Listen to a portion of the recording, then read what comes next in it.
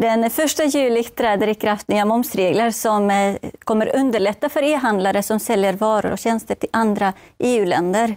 Eh, dagens omsättningströsklar kommer tas bort, så man slipper ju momsregistrera sig i massa olika länder. Istället kan man ju välja att registrera sig i One Stop Shop hos Skatteverket och redovisa momsen dit.